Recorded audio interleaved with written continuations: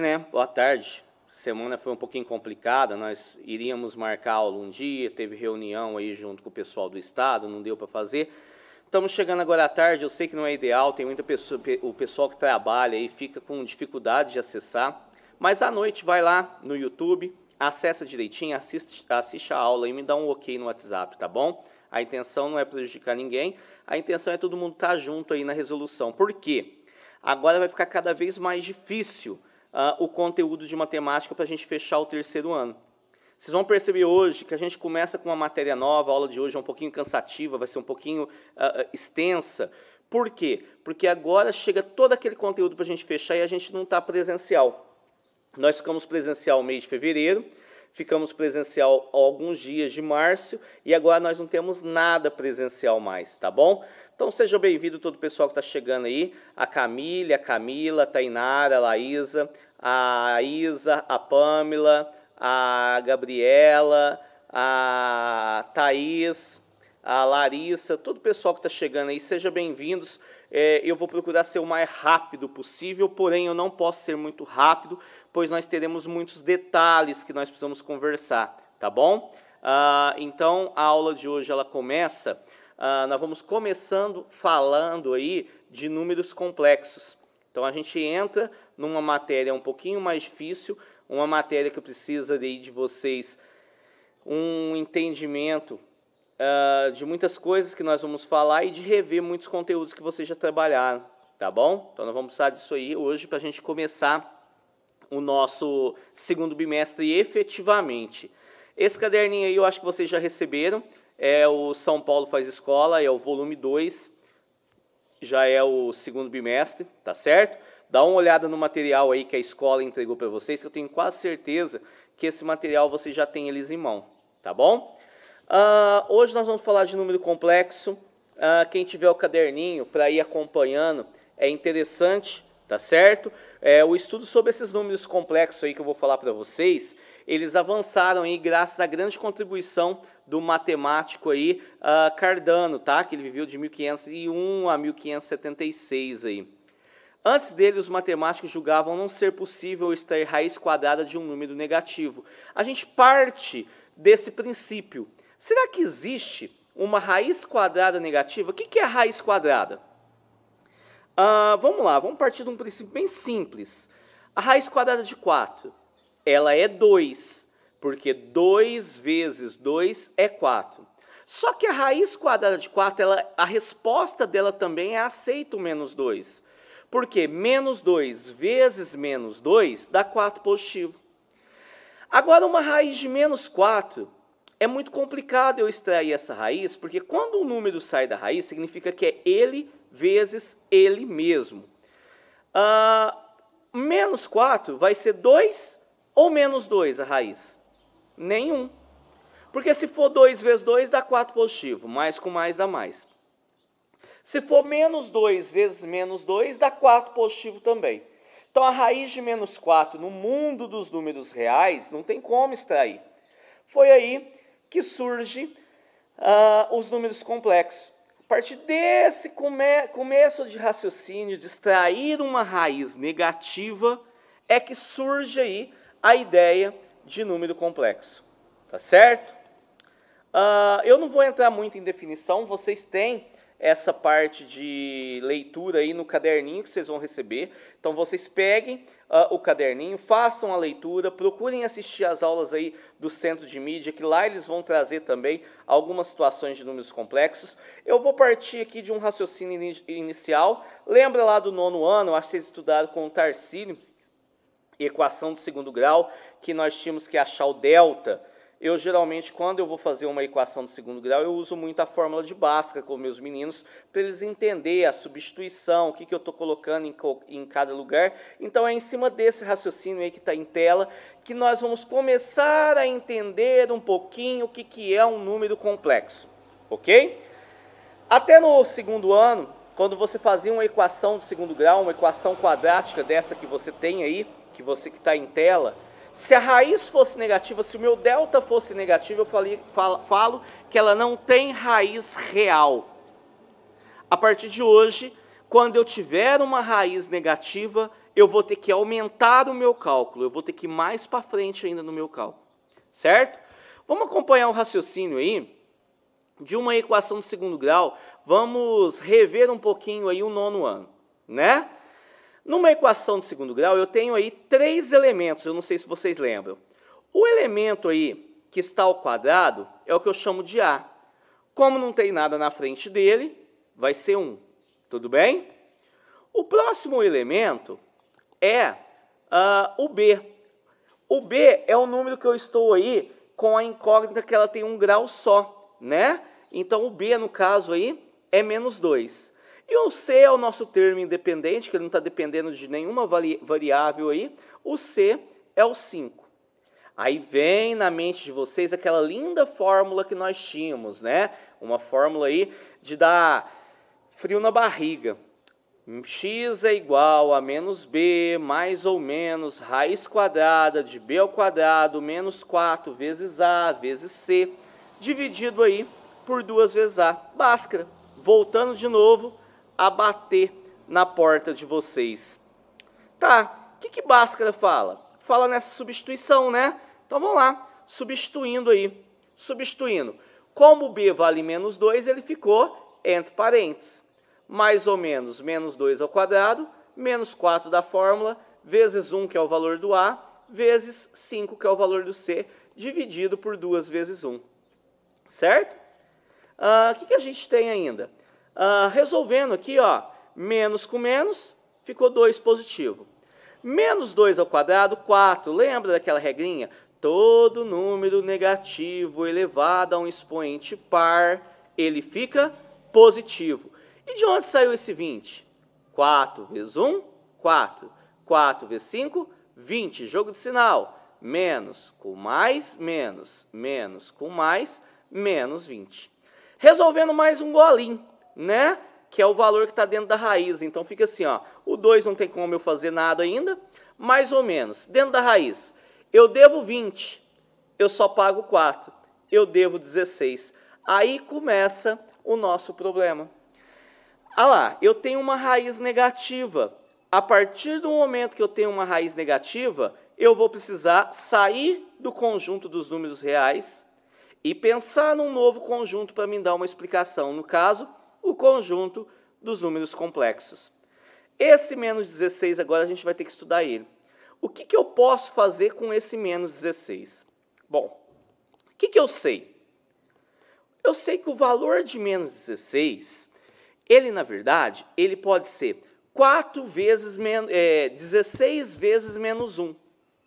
Se eu separar o 16 e o 1, quanto que é 16 vezes 1? 16. E quanto que é 16 vezes menos 1? Menos 16. Se eu separo o 16 e o menos 1, o 16 sai fora da raiz. O menos 1 fica dentro da raiz. E o que, que os números complexos trazem de novidade para nós?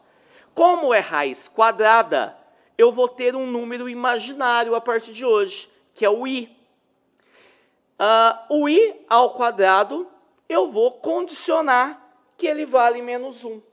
Então, toda vez que eu tiver menos 1, é i ao quadrado. Então, aqui já fica o nosso primeiro aprendizado. Quanto que é i ao quadrado? Menos 1. Todo conjunto dos números complexos, eu não posso esquecer dessa introdução. Quanto que vale i ao quadrado menos 1? Então aí eu já posso substituir, né? Na verdade, o que, que eu fiz lá? Ó? Não era menos 16? Eu separei menos 1 e 16 do outro lado. Por quê? Fica a mesma coisa, faz a operação inversa.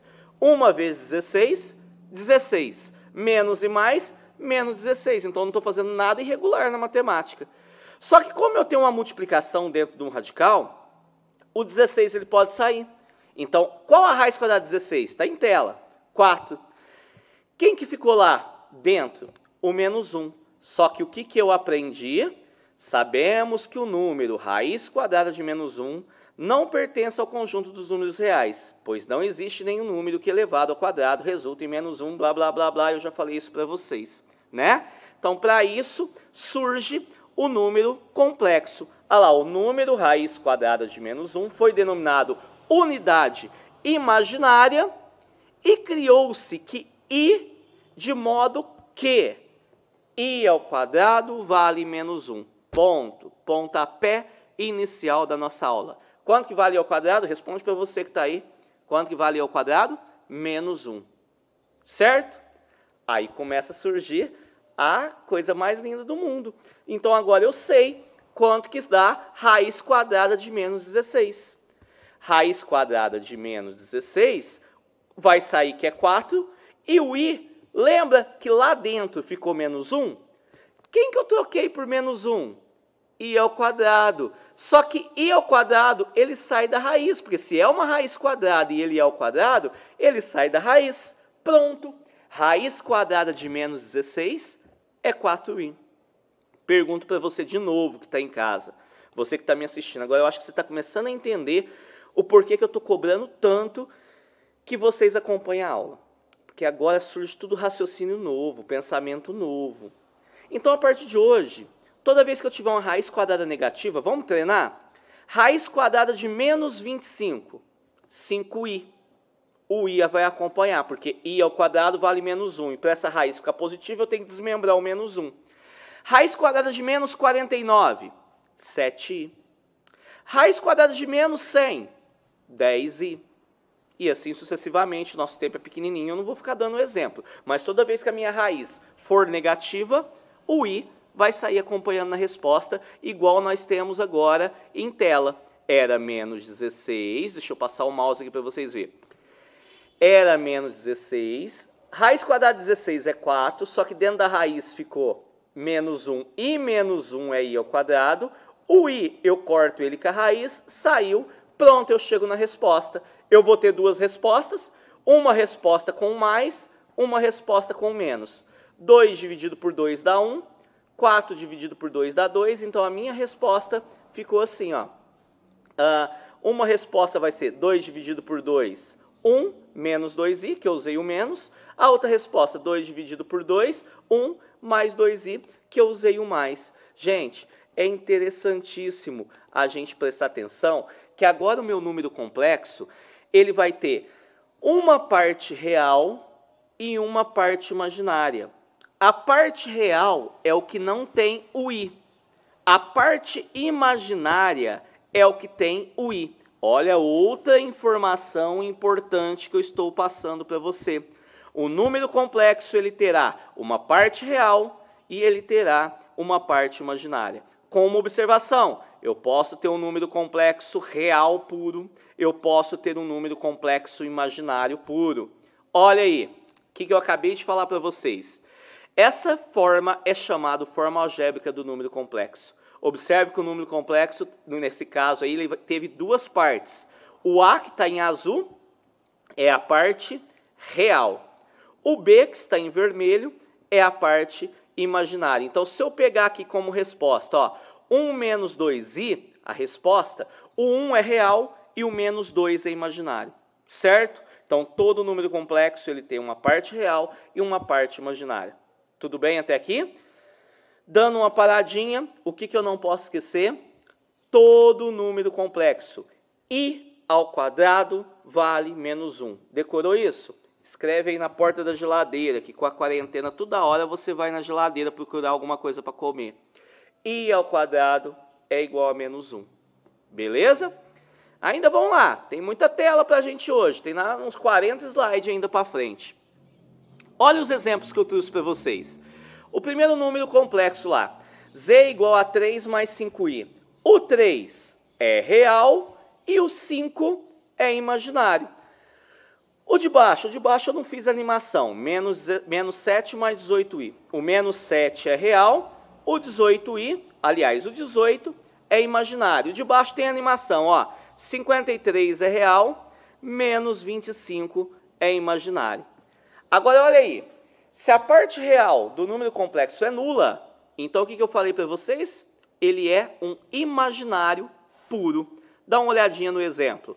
Z é igual a 3i. Não apareceu a parte real. Se não apareceu a parte real, ele é um número imaginário puro. Temos aqui, ó, uma convenção. Olha esse exemplo aí. Determine o valor de K, porque aqui no meu número complexo tem um K, para que o número complexo seja imaginário puro. Gente, para ele ser imaginário puro, isso aqui tem que dar zero, isso aqui não pode existir. Se isso aqui não pode existir, eu faço K menos 4 igual a zero. Montando uma equaçãozinha simples de primeiro grau, 4 não é negativo, passa para o lado de cá positivo somando com zero. 0 mais 4, 4. Então, se o K for 4, o meu número vai ser imaginário puro. Óbvio, né? Coloca o 4 aqui, ó. 4 menos 4, 0. Sobrou só o 3i. Portanto, ele é imaginário puro. Se a parte imaginária do número complexo é nula, então o número é real, tá bom? Então é isso que eu tenho hoje aqui para vocês, para estar tá, uh, deixando essa parte de números complexos, essa introdução aí uh, bem é, aceita aí uh, para vocês, tá bom? Então, nós temos que i ao quadrado vale menos 1. Nós temos que um número complexo, ele tem uma parte real, ele tem uma parte imaginária. E olha que bonitinho, ele, ele, a anotação dele vem com z, tá? z é igual a 3 mais 5i. Isso aqui está dizendo que ele é um número complexo, ok? Apesar que a anotação do, número, do conjunto dos números complexos é o c, tá bom? Aí o número complexo, ele entra no plano cartesiano. Lembra que o meu número complexo ele tem uma parte real e uma parte imaginária? A parte real, eu vou usar o meu eixo x. A parte imaginária, eu vou usar o meu eixo y. Aí eu vou ter uma imagem geométrica de z. Então ele não vai ser simplesmente um número. Vocês vão perceber que nós vamos ter fórmulas trigonométricas, nós vamos ter cálculos aí trigonométricos uh, para resolver um número complexo. Nós estamos só começando. Você que não está acompanhando, você que está perdido aí nas aulas online, acompanha, aperta o pé, que esse bimestre, esse início de matéria de números complexos, eu preciso que você acompanhe. Tá bom? Então nós já aprendemos que i ao quadrado vale menos 1. Nós já aprendemos que o número complexo ele tem uma parte real e uma parte imaginária. Nós aprendemos que o número complexo ele pode ser imaginário puro. Se ele não tiver um número imaginário, ele passa a ser um número real. E ele tem a forma geométrica dele, a imagem geométrica dele, com a parte real representada na horizontal no eixo x e a parte imaginária representada no eixo vertical, que é o y. É muita informação para uma aula só. Então vai aí desenvolvendo, vai aí convidando um colega que não está assistindo, vai lá no canal, faça inscrição no canal para quando começar a aula ser notificado. Você que está trabalhando, assiste essa aula à noite, me dá um joinha no WhatsApp falando, professor, assisti, professor não entendi, professor volta na aula, porque eu preciso desse feedback de vocês, eu preciso dessa posição aí uh, de entender ou não entender de vocês, para eu saber aí qual o passo maior que a gente pode dar na próxima aula, tá bom? A representação do número complexo aí num plano de Argauss, olha que bonito, Hã? Não é qualquer um que tem um plano de Argauss, né, pessoal? Então, olha aí o que, que a gente vai ter, ó. Uh, trabalhando aí uh, a questão, eu vou ter aí 1, 2, 3, 4, 5, 6, 7 números complexos. Qual que é o número complexo Z1? 3 mais 4i. Só fazendo um treinamento. 3 é real, 4 é imaginário. O Z2, 3i. O 3 é imaginário, ele é imaginário puro. E assim sucessivamente nos outros exemplos. Uh, pensa aí nesse plano cartesiano. Eu já separei aí aonde está o Z1, onde está o Z2, o Z3, o Z4, o Z5, o Z6 e o Z7. Por que, que o Z1 está naquele local lá? Porque ele tem o 3 na parte real e o 4 na parte imaginária. Certo? E esse slide deu trabalho para fazer, hein? Olha o Z2. Ele está em cima do eixo Y, em cima do eixo imaginário. Ele é um número imaginário puro. Olha o Z3. O Z3 já está em cima do eixo X. Ele está em cima do eixo real. Ele é um número real. Olha o Z4, a mesma coisa do Z3. Ele é um eixo, ele é um, está no eixo real. Oh, gente, por que, que ele está naquele determinado 2? Porque o valor do número real é o 2, ok? Uh, dá uma olhada no Z5. O Z5, ele é imaginário puro, então ele está no eixo imaginário. Já o Z6, não. O Z6, ó, olha onde que ele se encontra. Ele se encontra no menos 2 e no menos 3, ok? Menos 2 de x, menos 3 de y, ou menos 2 de real, menos 3 imaginário. Olha o Z7, está lá no 1, né, do x, e no menos 5 do imaginário, do y. Tranquilo, né? Essa primeira parte é facinha, tá? Uh, isso, é, essa, é, essa matéria está no caderninho do aluno. É, você procura aí no caderninho, caderninho do aluno, você tem ela. Está ficando muito simples. Ah, eu falei para vocês que a resposta vem acompanhada de i, por favor. Então, raiz quadrada de menos 121. Se fosse a raiz quadrada de 121 normal, era mais ou menos 11. Ou vai ser 11 positivo, ou 11 negativo. Porque 11 vezes 11 dá 121, menos 11 vezes menos 11 dá 121 positivo também. Mas não é. É 121 negativo. Que, que eu sei? Menos, a raiz quadrada de menos 1, eu coloco i ao quadrado. i ao quadrado vale i. Então, a raiz quadrada de menos 121, 11i. Raiz quadrada de menos 16, 4i, mais ou menos, tá, gente? Raiz quadrada de menos 49, 7i. Raiz quadrada de menos 25, 5i. O i acompanha, porque na verdade eu vou ter um número complexo, tá bom? Então essa atividade tá ficando para vocês. Tira foto, coloca lá no Google Sala de Aula que eu vou abrir um espaço para vocês fazerem a publicação até terça da semana que vem, ok? Agora vamos falar um pouquinho de potência de I. Agora fica a parte legal, né? Uh, se tudo começou com i elevado ao quadrado vale menos 1, e quanto será que é i elevado a zero, i elevado a 1, i elevado a décima, i elevado a centésima, i elevado a septuagésima sétima potência? A potência de i não, é, não vai existir só i ao quadrado. Eu tenho que saber todas as potências possíveis de i. Sério, todos. Se eu colocar na prova i elevado a 2048, o que, que vai ser a resposta? Você tem que me dar essa resposta. Então pensa um pouquinho comigo. O que, que eu sei? Eu sei que i ao quadrado vale menos 1. Eu vou partir desse princípio, tá certo? A partir desse princípio, tela cheia, para a gente entender melhor, i ao quadrado igual a menos 1. Então vamos pensar comigo aqui agora, me ajuda nesse raciocínio. E i elevado a zero? A gente tem aí desde o sexto ano que todo número elevado a zero é 1. Né? Todo número elevado a zero é 1, porque vem de uma divisão. Seria como se fosse, por exemplo, i elevado a décima dividido por i elevado a décima. Eu conservo i que as bases são iguais, 10 menos 10, 0, e elevado a 0 é 1. Ou 5 dividido por 5 é 1, ou 10 dividido por 10 é 1, é uma, é uma divisão do número igual. Então, na verdade, i elevado a 0 é 1. Parabéns, você já tem duas informações. Você sabe que i ao quadrado vale menos 1, e você sabe que i elevado a 0 é 1. Isso você não pode esquecer, tá? Tá bom. E i elevado a 1?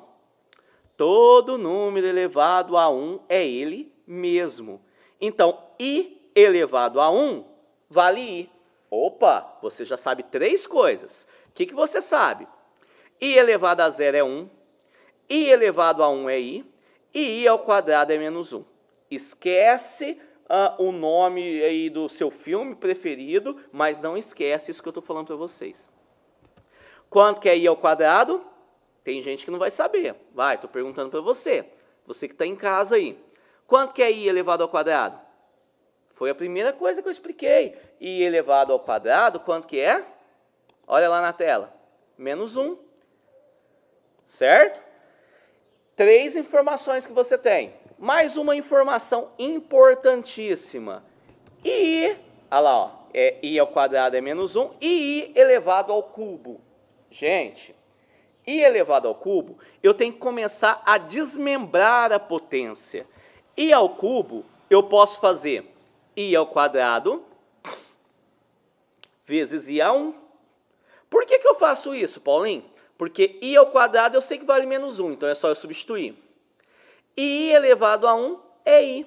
Então, olha lá, ó. i ao quadrado eu substitui por menos 1 e i elevado a 1 substitui por i. Então, menos 1 vezes i, menos i. Gente, isso vocês vão ter que aprender. 1i menos 1 menos i. Essa potência vocês vão usar no Enem. 1i menos 1 menos i. É isso que você tem que saber. i elevado a zero é 1, i elevado a 1 é i, i ao quadrado é menos 1, i ao cubo é menos i. 1i menos 1 menos i. 1i menos 1 menos i. Por quê? Porque o i à quarta eu posso desmembrar. É i ao quadrado vezes i ao quadrado, que vai dar menos 1 vezes menos 1, 1. Voltou a ser 1. E a quinta? E a quinta é i ao cubo vezes i ao quadrado. Então é menos i vezes menos 1, que vai dar i. Voltou a ser i. E a sexta? E a sexta é i ao quadrado vezes i ao quadrado vezes i ao quadrado, que na verdade é menos 1 vezes menos 1 vezes menos 1, que multiplicando dá menos 1. Voltou a ser menos 1.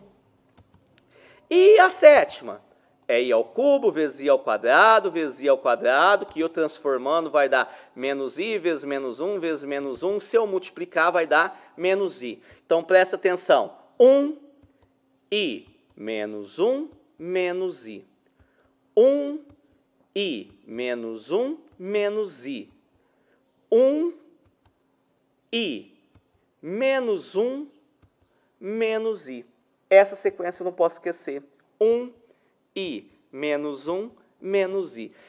Isso eu tenho que saber para eu poder fazer a potência de i. Então, o que, que eu tenho? i elevado a zero, 1. i elevado a 1, i. i ao quadrado, menos 1. i ao cubo, menos i. Gente, isso vai se repetindo da agora para frente. Ó. Eu não tenho mais segredo, eu tenho 1i menos 1 menos i. 1i menos 1 menos i. Se eu pedir o 200 para vocês, vocês vai fazendo, vai cantando essa musiquinha até chegar no 200. 1i menos 1 menos i. Pronto, foi 4. 1i menos 1 menos i. Pronto, foi 8. O que, que vocês acham? Eu acho que eu vou fazer uma chamada de vídeo e vou colocar vocês cantando essa musiquinha aí para a gente não esquecer. Pode ser? 1 i menos 1 menos i. É um conceito simples aí para o Enem, tá bom? Bom, dando sequência aí, uh, a potência de i. Nas potências de i, nota-se a regularidade de 4 em 4, certo? Não muda. 1 i menos 1 menos i. Olha, Paulinho, mas i elevado a 73. Vai contando o seu dedo, ó, é azar seu. Você sabe que de 4 em 4 volta a repetir? Não, não é assim não. Vamos brincar de divisão então. De quanto em quanto que repete? De 4 em 4, não é isso? Então eu sempre vou pegar o expoente. Quem que é o expoente? 73. Quem que é o expoente? 73. E vou dividir por 4. Vamos fazer a divisão? Então vamos lá. 1 vezes 4, 4. Para chegar no 7, 3. Abaixo, o 3. 33 tem quantos 4? 8 vezes 4, 32. Para chegar no 33, 1. Presta atenção no resto. O resto não é 1. Qual o número que é elevado a 1? Olha aqui, gente. i elevado a 1. Então, qual que é a resposta? É i. Eu presto atenção no resto. Ah, eu não entendi. É, esse exercício aí, ó. Ah, é para a gente complementar, não está no, no caderninho de vocês do segundo bimestre, mas está ficando uh, de modelo em PowerPoint já resolvido para vocês prestar atenção. Então, olha o expoente, quem que é? 98. Por que, que eu divido por 4? Divido por 4 porque existe 1 i menos 1 menos i. Quatro situações só que vai aparecer, tá bom? Então, a gente vai dividir por 4. 2 vezes 4, 8. Para a gente chegar no 9, 1. Abaixo o 8. 18 dividido por 4, 4 vezes 4, 16. Para chegar no 18, 2. Gente, resto 2. E elevado a 2. Olha lá na minha resposta. Quanto que é? Menos 1. Vamos fazer mais. E elevado a 75. Vamos lá, pegar o 75 e dividir por 4. 1 vezes 4, 4. Para chegar no 7, 3. Abaixo, o 5. 35 tem 8, 4. 8 vezes 4, 32. Para 35, 3. Presta atenção no resto. i elevado a 3. Qual que é a resposta? Menos 1. Vamos fazer mais um. 52. Eu divido por 4. 1 vezes 4, 4. Para chegar no 5, 1. Abaixo 2. Uh, 12 tem quantos 4? 3 vezes 4, 12. Para 12. Opa, agora não tem resto. É zero.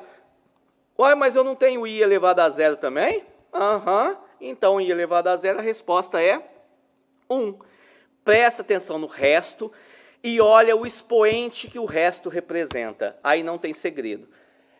Tá ficando esse exercício para vocês, que é o da atividade 2, olha lá. i elevado a sétima, você consegue responder. B, i elevado a 5 mais i elevado a oitava. Você vai ter que ver quanto que é i elevado a 5 e quanto que é i elevado a oitava. Presta atenção, uh, eu não vou juntar imaginário com real. Se i elevado a 5 for um número real é, e i elevado a oitavo for um número imaginário, eles não juntam, tá bom? A letra C, i elevado a 4 mais i elevado a 9 menos i elevado a 6. Também você tem condição de fazer. Agora, a letra D eu vou dar uma ênfase melhor para vocês. Menos 1 mais i elevado ao cubo, na verdade é menos 1 mais i, vezes menos 1 mais i, vezes menos 1 mais i. Aí eu vou ter que fazer a minha continha de terceiro colegial, uh, uma distributiva. Menos 1 vezes menos 1. Bom, 1 vezes 1, 1. Menos e menos, mais. Em cima, menos 1 vezes i. 1 vezes i é i, menos com mais, menos i. Agora é a vez do i. i vezes 1, 1. Mais com menos, menos i. i vezes i, i ao quadrado, mais com mais, mais. Vezes o que sobrou de menos 1 mais i ainda. Olha a parte que matemática é cheia de detalhe. Presta atenção que você tem i ao quadrado aí. Tem ou não tem? Quanto que vale i ao quadrado? i ao quadrado vale menos 1. Então você vai trocar por menos 1. Vai ficar assim, ó, mais 1, menos i, menos i. No lugar do i ao quadrado, eu troquei por menos 1. Vou juntar real com real, ó, esse com esse, imaginário com imaginário na linha de baixo. Ó, mais 1 com menos 1, menos i com menos i. Gente, mais 1 com menos 1, zero. Menos i com menos i, menos 2i. Vezes ainda o que sobrou vou ter que fazer distributiva de novo. 2i vezes 1, 2i, menos e menos, mais. 2i vezes i, 2i ao quadrado, letra vezes letra da letra ao quadrado. Menos e mais, menos. O que, que eu tenho que prestar atenção? i ao quadrado vale menos 1. Então, eu vou trocar aquele i ao quadrado por menos 1. Se eu trocar ele por menos 1, ó, menos 2 vezes 1, 2 menos i menos mais. Pronto, a minha resposta é essa. 2i mais 2. O 2i é imaginário e o 2 é real. Ok? Aí você vai ter a atividade 3, que está ficando para você no caderninho do aluno. Atividade 3, nota-se que a letra A é uma adição. Eu até deixei a letra A, a letra A eu não fiz, então eu fiz a letra B aqui para vocês, que é uma subtração, mas é no mesmo processo. Olha a letra B. 7i menos 5 menos menos 2 menos 8i. O que, que eu tenho que fazer? Primeira coisa, o primeiro número complexo eu vou copiar. O segundo eu vou fazer esse jogo de sinal, menos e menos. Mais 2, menos e menos, mais 81. Somo tudo que é número e somo tudo que é imaginário. Então, na verdade, eu vou ter uh, uh, 7i com mais 8i, né? Os dois eram positivo. E vou ter menos 5 mais 2. Juntando, eu vou ter uh, 15i menos 3. Ou, se você quiser escrever uh, com o real primeiro, menos 3 mais 15i que vai ter número que, que vai começar, que eu vou ter número aqui, ó, começou com o imaginário, mas eu tenho número que começa com o real. Então as duas respostas para mim tá certa, tá bom? Uh, aí a letra D, deixa eu voltar aqui que tinha quatro para vocês, para vocês prestar atenção. Tinha quatro, eu fiz a B e agora eu vou fazer a D para vocês, para vocês verem aí como que é essa multiplicação. Então vamos lá, ó. Vamos fazer a distributiva. 8 vezes 8, 64, mais com mais, mais. 8 vezes I, 8i, mais com menos, menos. Agora a vez do I. I vezes 8, 8i, mais com, mais com mais, mais. i vezes i, i ao quadrado. Lembra que letra vezes letra é letra ao quadrado. Bom, esse i ao quadrado eu nunca posso esquecer que ele é menos 1. Vou substituí-lo, vai ficar 64 menos 8i mais 8i. Por que, que deu um positivo? Aqui não era negativo? O, o, i, o i ao quadrado é menos 1, menos com menos mais. Vou juntar o 64 com o 1, né?